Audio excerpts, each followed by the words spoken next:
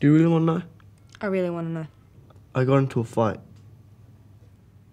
What? you. It was self defense, right? I mean, you don't have a violent bone in your body. Yeah, well, maybe I do. Who did you get into a fight with? It's none of your business. I'm gonna find out anyway, okay? I always do. I got into a fight with Carl Rush.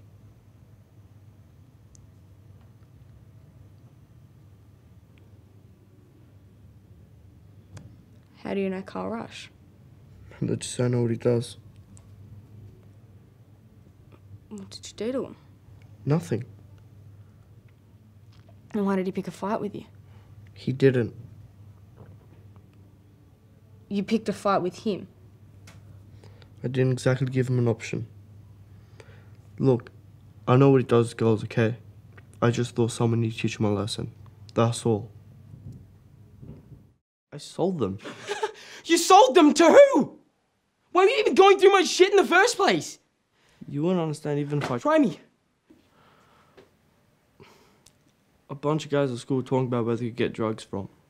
I knew you had some and I told them I could get it for them. Why would you do that? Because I wanted to fit in. I'm not like you. I don't have a lot of friends. I thought that maybe if I did this for them, they might think I was cool. Look, we need to get the drugs back. It's too late. Don't you think? No, no, it's not too late. Look, we need to get them back to the person they belong to. Now, who are the people you sold them to? I sold them Jake and Randy. Two kids from school. Look, we're gonna go pay Jake and Randy a little visit. Let's go. I can't do that. I don't think you have a choice. If we don't get these drugs back to the person they belong to, and I mean very fucking quickly, you're not gonna have an older brother to protect you. Let's go. Let, let's fucking go, I swear to God.